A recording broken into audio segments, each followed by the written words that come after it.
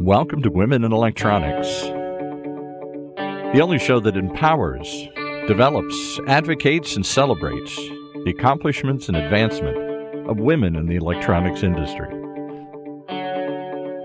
With your host, Jackie Mattox. Okay, and welcome to another episode of Women in Electronics. And we are here with part two with Adam Norwitt from Amphenol. And so, Adam, I just wanted to welcome you so much for being here. Well, thank thank you so much, Jackie. It's great to be back together with you, even if we are not in the same room. But it's wonderful to see you uh, here here today.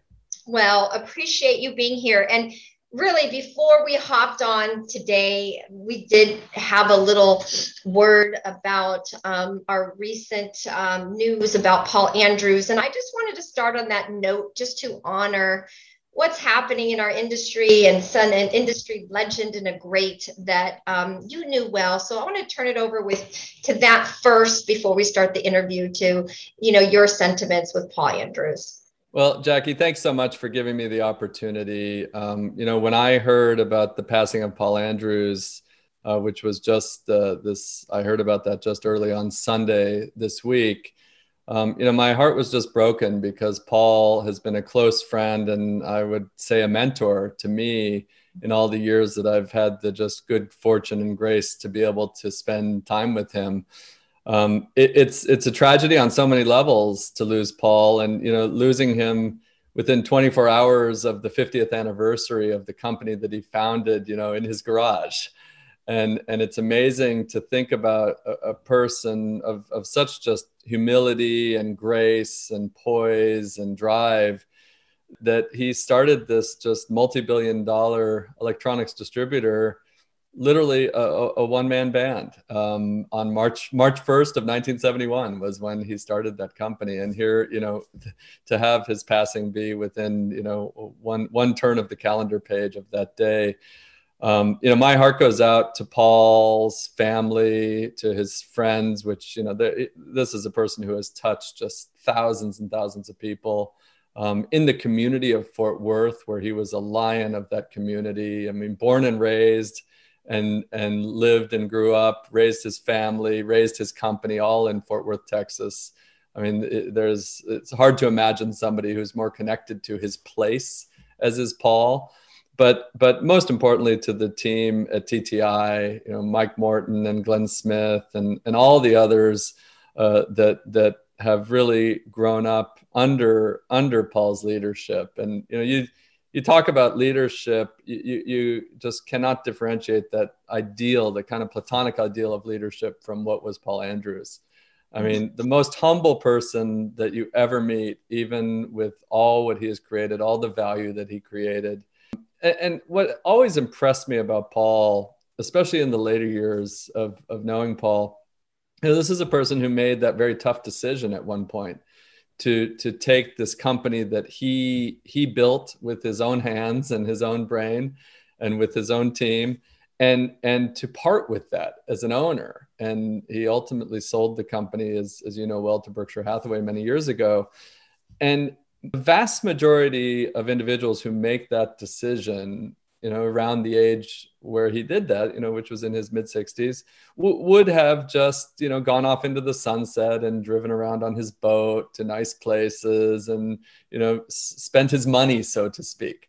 But that was not Paul. He continued all the way to, you know, his last days going to the office, running the company in the most active way possible, even though he was no longer the owner. And I think that is that is an indication of a person who wasn't just in it for the money who wasn't just in it for the power. He was in it because it's where his heart was. And you know i, I hear stories still to uh, i've heard many stories of paul even you know with the greatness that he achieved the value that he created still going onto the computer and checking you know pricing and and you know what was the inventory build of this part and that part. And you know he he he never tired of that the details of the business but most importantly uh, of of building that family at TTI which is just such a wonderful company a wonderful partner of ours over the vast majority of their 50 years. You know we're proud to be a partner of TTI and and I'm fortunate and proud to be able to say that I I got to spend some time with Paul Andrews over those years and you know when I was very young when I was very young in the company I remember first meeting Paul and he was just one of the most wonderful people. So I, I'm I'm really heartbroken with his loss. He's left us too early but he's left a legacy that I think will go on for many generations to come and and we're proud to be a piece of that legacy. And and I wish all of the team at TTI all the best as they as they wrestle with the the sorrows of of losing their great leader. But fortunately, there's a lot of great people still in TTI, people like Mike and Glenn and all the others, and and I'm sure that company is going to remain very very strong for the future. with with Paul's memory giving them maybe a little extra a little extra dose of of passion uh, for their performance in the future.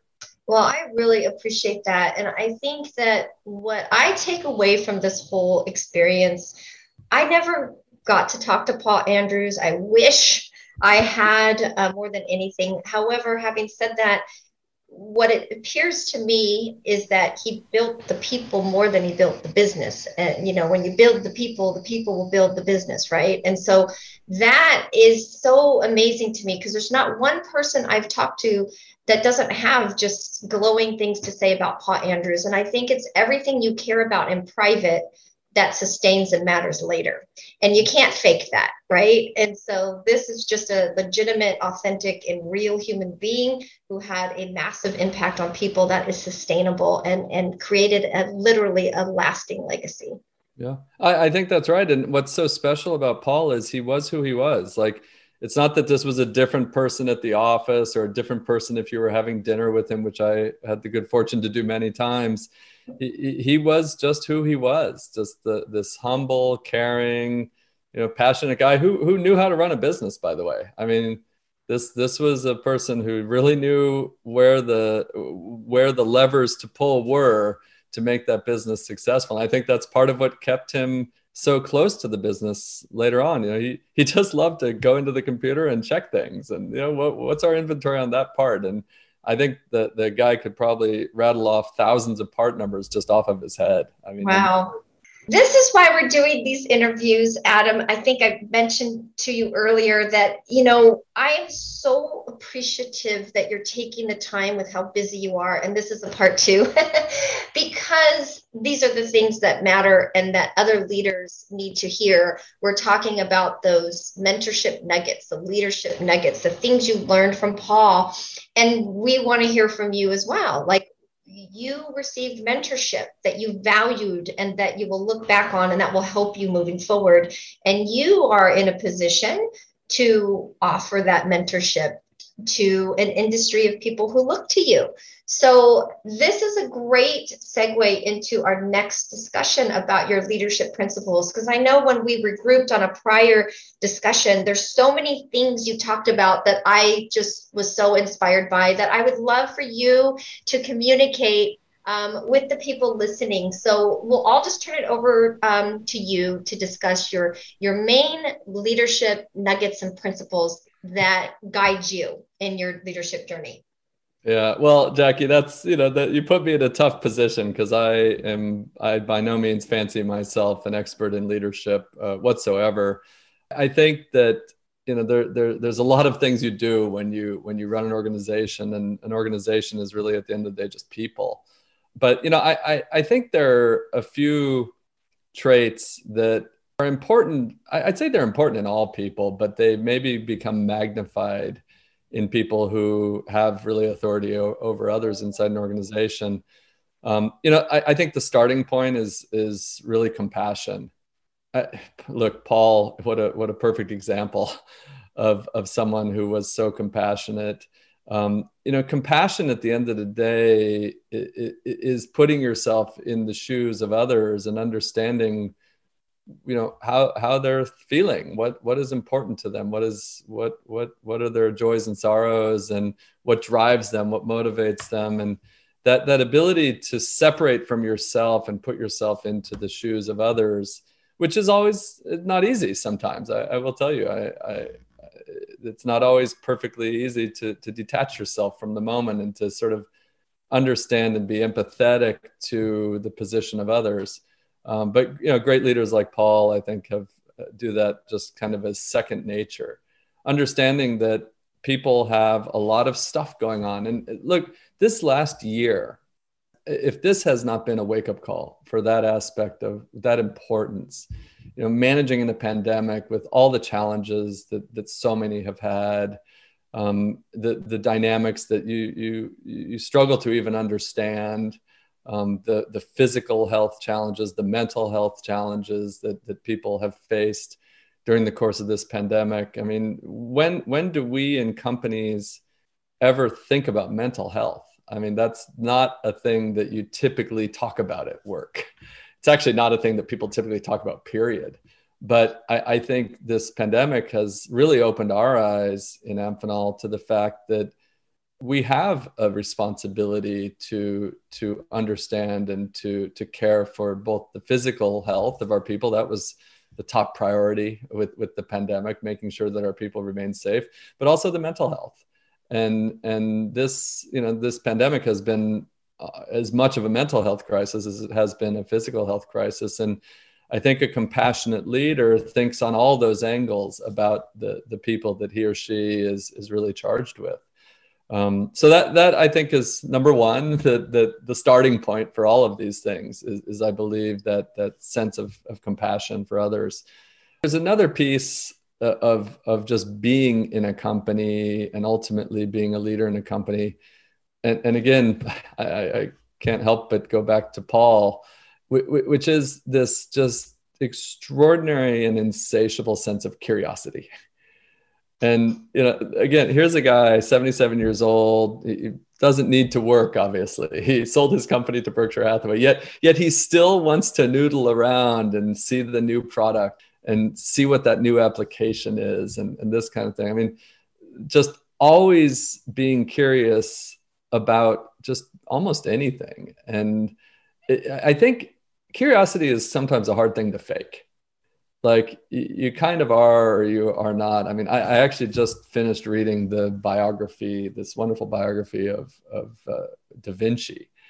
And that's like the main thing about da vinci like the that that he just there was not one thing that he didn't want to learn more about. And and i think that's kind of cool. Like life is like filled with wonder if you just let yourself be aware of it and dig into it. Like how things work is so cool. And like being in the electronics industry like we get to see sort of the nuts and bolts of how things work. And that's just so cool. And i think if, if you're curious about things it, it drives you to explore more. It drives you to ask more questions. You, you show a genuine interest in what people are doing. And again you're not faking it. You actually are interested in it i think that that helps people feel really good about it, it helps you find things out which is important as a, as a leader but it also i think people feel that uh, you really care about what they're doing because it's cool a lot of stuff we do is like really cool. You know, we, we make connectors to my family and to outsiders. They're kind of, you know, boring little things here. But to us, these are like extraordinary components that without which, you know, ventilators don't work and the internet doesn't work and airplanes can't fly and trains can't go and, you know, you can't have solar energy without them and all these other things. And and when you really get into how they work like the real nuts and bolts of how they work it's it's just extraordinary and and i think finding the the joy and the wonder in in all those things is is i think a really important uh, really important. You know i didn't set out to to go run a connector company. I honestly when i got my internship with amphenol i didn't know what a connector was. But but i just started asking lots of questions and it and it just turned out it's just really cool. And and there's so many just layers and layers of things that you can uncover and discover.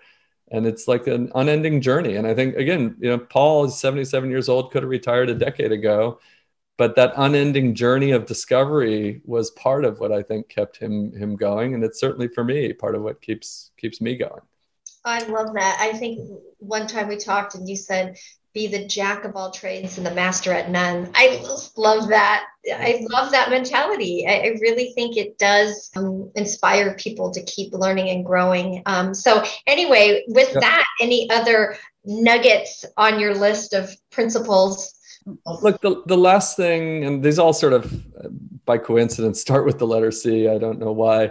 Um, but look being a leader is a lot about just talking and listening which is communicating. Um, and you know when my my kids over the years ask me what do i do at work? I basically say i read things i hear things and i talk about things. And that's kind of my job. And that's it. I mean you're either reading talking or listening. Like that's basically 100% of the time. Um, and it, it's it, it's it, takes I, I think a real focus on all of those fronts you know knowing what you need to digest what information do you need to get but also you know listening to people in a very uh, attentive and, and aggressive fashion. And a great leader there is a lot of kind of selling that you're doing all the time. You're selling to customers. You're selling to potential acquisitions you're selling to your employees you're creating kind of a some sort of a, a, a, path forward for them whether you call it a vision or whatever. I mean i'm not so high high minded about that but but you're you're always trying to give people through your words you know that that kind of next dose if you will of of nitro into the engine to to keep going. And i think that ability to communicate is is a really critical thing for for all leaders. And you know it's trite to say it. I think i'm not so innovative to come up with that idea but but i think it is a, an extraordinarily important building block. You know it doesn't matter where you went to school. It doesn't doesn't matter you know what what background you come from. But i i think the ability to to carry a message to people and to hear a message and information back from people is is a really unique and, and critical ability for well i think that's really important. As you said it's something we hear about but it's not so easy to do. Communication is you know there's there's degrees in communication right? It's very mm-hmm. complex. It's not easy. So if you have a leader who truly does this this will lead me into this next question because we were talking previously too, and you had said let others do their jobs, like one person cannot run the organization. Well, that is really hard because you have leaders, say like Paul Andrews, that were very involved, but yet was able to let his leaders lead. That is really tricky. How? What are your comments on that? I think I struggle with that a little bit as well myself because I am so involved. But how do you let others lead and, and really um, let go a little bit as a leader. I mean, look, Paul is again, uh, just can't stop but come back to him. He, he was extraordinary at this, you know, giving people the freedom and the authority to to do what they needed to do while still staying involved and and aware of, of what's going on. You know, at the end of the day, you know what what makes our company Amphenol so unique is that letting go of ceding authority and ceding responsibility to people in the organization who have really comprehensive accountability that's that's basically our structure. I mean it's an entrepreneurial culture where we have around the world 125 general managers and these are women and men all over the world who have the total responsibility to run their companies on a day-to-day basis. And and we, we talk to them and we communicate with them but ultimately they're making every day the dozens if not hundreds of little decisions and sometimes some decent sized decisions that that are determining the the short medium and long term success or failure of their businesses. And it's our job to be there for them to be supportive for them. And you know we, we have these 125 general managers. They're organized into seven operating groups and those group executives then then report to me. And you know whether it's those group executives or, or me and my very small headquarters team, uh, our job is to enable those 125 general managers to support them, give them resources, challenge them, of course, with with you know, kind of bold bold targets and visions, um, and, and, moderate if there's any issues between them, and step in when we can be of, of, of help, but but step out when we would be hurtful to the business, and and the the the knowledge of when to step aside and let them just do their thing which is kind of our default position that that's really important. And you know how do you have the confidence to to do that? In our structure in our in, in the culture of amphenol it's about having people who are just phenomenal entrepreneurs and knowing that that again these, these women and men around the world they, they know what they're doing. And while they may make the mistake once in a while you know those mistakes are are things that you can learn from. And we try to make it such that if you do make a mistake and i made a bunch of them when i was a general manager you, these are not sort of bet the company kind of mistakes that we can deal with it if if if something goes wrong.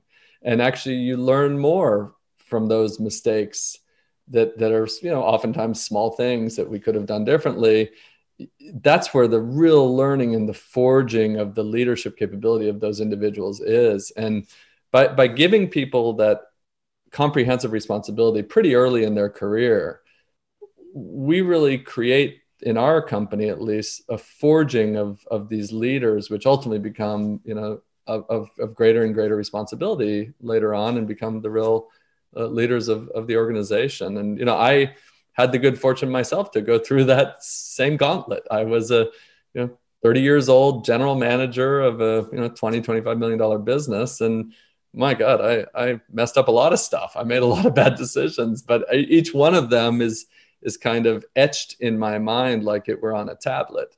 Mm. And I, I never forget them. Still today, there's rarely a day goes by where I don't reflect back on something I kind of messed up, you know, 20 years ago and the lessons that came from that and how that informs you know hopefully a little bit uh, those mistakes as the ceo of the company today. Well i think that obviously you have gained um, a lot of wisdom and knowledge from those um, experiences because here you are now. And it, it, makes me reflect on Warren Buffett said something about failure. And I think leading into the next question about women, we tend to really worry about failure and not really want to fail um, it, it, on a very deep level. And Warren Buffett's failure is just another way of doing things. It's just learning another way of doing things, which I love. So, you know, on that note, what are your nuggets of input to women in the industry? How do you feel about women and where we are right now? What we faced since this pandemic, what our opportunities are? Um, what are your insights on women in their leadership journeys? Yeah, well, first and foremost, I mean, for the industry, I think we have a long ways to go to to have you know, kind of whether you want to strive for parity or, or, or, or, whatever proportion of women in leadership positions.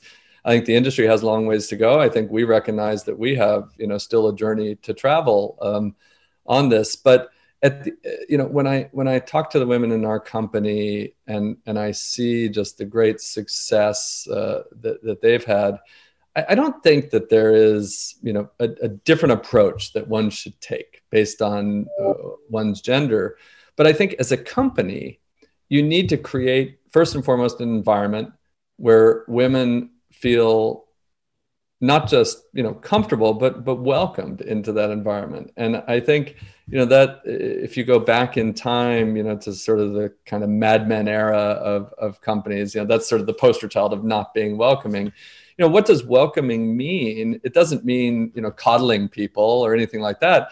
It, it means that this is a place where actually gender doesn't matter. Like all that matters is performance and success and opportunities and we're willing to take risks on people. You know i had risks taken on me as a young person who probably was not appropriately experienced to become at the time a general manager. And you know you could argue i probably wasn't appropriately experienced to become a ceo when i was uh, you know when i became a ceo in in in 2009 january 1st i think it was.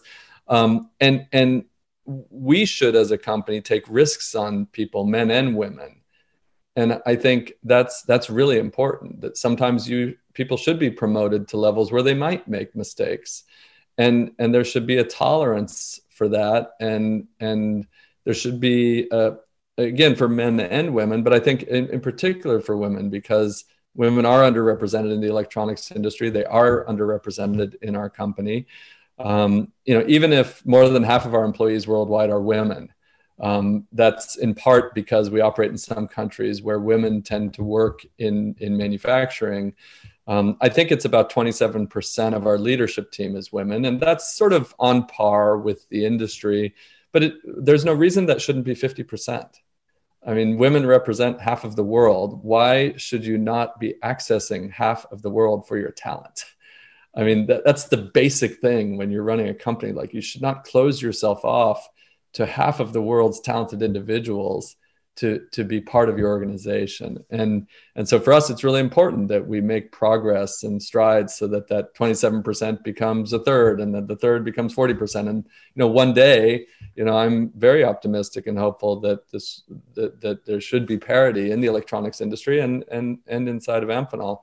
And so i think that you know creating opportunities for people maybe when they're not even on paper ready like I had for me. And, and I look across my organization, a, a, lot of our you know, strongest leaders, there was a moment in their career where they weren't ready for the next job and they still got it. And, and I think that's, that's really, and, and maybe doubly important for women.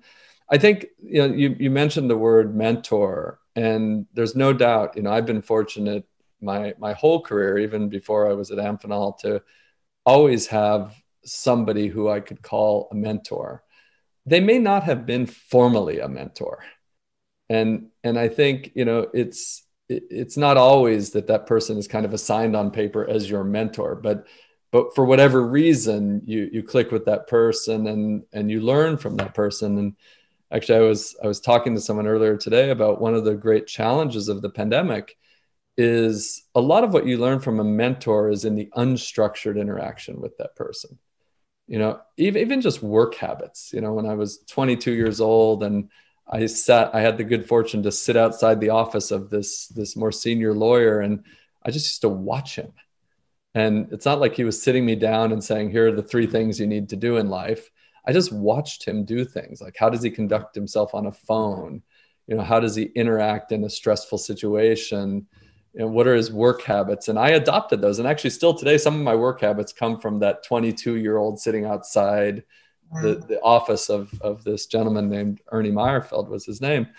And and i think it's important as a company that we're ensuring that that all of our young employees but especially women have access to mentors who who can help them as they develop as individuals I, I was very lucky in Amphenol. I worked for a number of different people, each of whom I learned something different from. And still today, I have people in the company who I consider mentors, even if, you know, on the org chart, I might be above them. I consider them true mentors to me, and I'm continuing to learn from them. And I think, you know, I, my advice to to any women who who really want to make a career in the electronics industry and in our company is is find mentors for yourself in a way that may not be obvious. It might not just be the person in the block on the org chart above you. There can it can be someone below you. It can be someone in a totally different business. It, it can be someone in a di- totally different company. But there's so much to learn from the extraordinary variety of how people work, how people comport themselves, how, how they approach challenges and opportunities. And you, you cannot do that on your own it's what I worry about with the pandemic and people working remotely.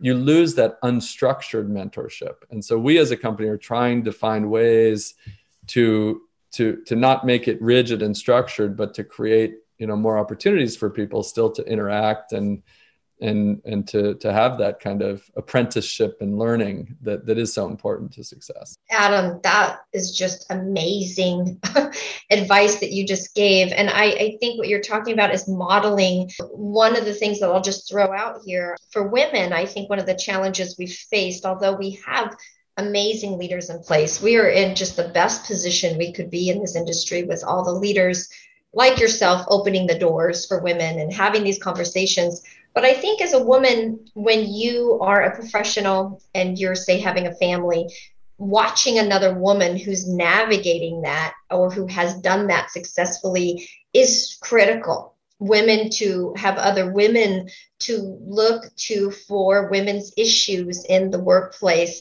And when you don't have enough to aspire to or to watch, sometimes it could be detrimental. And so I think that's part of why the parity is important because there's a lot of issues that women face that are specific to women that another male leader cannot necessarily help them with. Um, so these conversations are so important because it's bringing to light um, an industry um, you know, all of our the, the, issues we face because our issues become our male leaders' issues because they need the talent as well. So I love that we're having these discussions, and I'll just end on a final question. I know we're a little bit running over time, but I really wish we had a lot more time, Adam. Um, but I've really contemplated this quite a bit. This next question that I have for you it's substance over success. And I'll tell you, we keep coming back to Paul Andrews, but I put it out there on LinkedIn a couple weeks ago is are you striving for substance or success? And I just don't know that people think about that enough. And if I look at somebody like Paul Andrews, I don't know that he was waking up every day saying, I want to be successful. I think he was maybe striving to be a person of impact and, and, and substance and, and bring value and meaning to his people and make a difference. That, that's what it appears to me. But I'll just turn that over to you to comment. Yeah, I think, look, Paul is a perfect example. Why did he work for nearly a dozen years after selling his company to Warren Buffett and still come every day into the office and work a full time job? It, it was not for you know success in the way that it is traditionally measured let's put it that way you know financial success or something like that he, he did it because of the satisfaction i mean you use the word substance i i think substance is a great concept but i i would make it even more simple which is just we do this for satisfaction because you you work is is not called play. It's called work.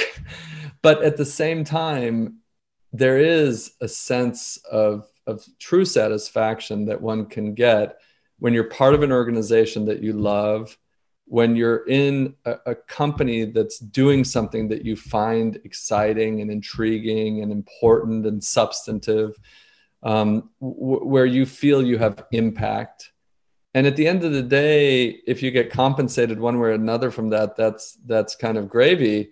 But the the real feeling is the the sense of satisfaction and accomplishment of having really made an impact and and i think that's what keeps i think so many like paul coming back every day to the office. It, it wasn't because he, he needed that next paycheck to to put food on the table. By the way there are a lot of people who do need that. And we have a lot of employees who do need that next paycheck to put food on the table. And you know, I can tell you I've been in that position myself for for many many years. I'm fortunate not to be today, but but you know we shouldn't lose sight of that that there are a lot of people for whom a job is a job and it's it's serving a purpose to to feed one's family and to create you know a financial stability. But if you can do that while also getting a sense of satisfaction that you're really impacting something a community a group of people uh, an industry the world. I mean that that's a pretty good feeling. I mean I, I tell you this this last year i think has has been a reckoning for all of us as we think about truly what matters.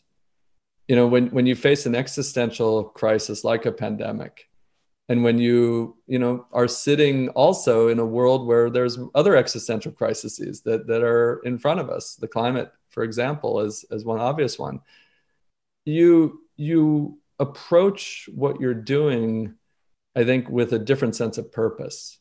When you get woken up to to the reality of of working in a pandemic for example i mean I, i'm I, can't tell you you know just how proud i am of of the passion with which our team approach protecting our fellow employees with the passion that we approached enabling customers to participate in the fight against the pandemic you know components onto ventilators components into into the internet to allow you know zoom meetings like we're doing here today um, you know protecting the the temperature of vaccines which we're involved in by the way. I mean i can't tell you how proud i am that we're playing you know our small part in helping the world face this this once hopefully in a lifetime pandemic.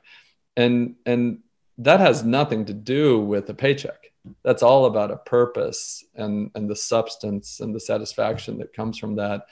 And and i think that more and more uh, people are going to gravitate to that. And you know we're really excited in Amphenol that that people can have great careers men and women of, of all types around the world that, that can create for them their own value and, and financial stability but it, moreover it can create for them an intellectual and an emotional satisfaction the value of which i think is far beyond any paycheck wow well i was going to ask you about your competitive advantage of amphenol in the marketplace but you just answered it right there so perfectly and on that note, um, unfortunately, uh, we're probably way over time, and I'm so sorry. I'm sure no problem, Jackie. it was fabulous and wonderful, and a treat talking to you today. And I really greatly appreciate your time and love your leadership. Love Amphenol. Uh, appreciate your sponsorship and support of women in electronics. So thank you so much for being with us, Adam. Well, Jackie, thank you, and thank you for your leadership of this very important organization. Um, and and I wish you and and your family all good health, and hopefully, you know, we're all getting vaccinated soon, and we can start to get back into a normal world. And and you know, I just want to finish on wishing the team at TTI all the best, uh, and Paul's family and friends and his colleagues as they go through this no doubt difficult time period. And I'm sure they have friends across your your universe and and certainly we all carry them in our hearts awesome sentiment to end on we send our thoughts and prayers out to the family as well and the friends the colleagues in the industry that literally this is one of those times everyone just cries together. Uh, there's certain times in life you just do that right? So on that note thank you for being here and i uh, look forward to seeing you another time in person. Thank you so much. Great, bye-bye.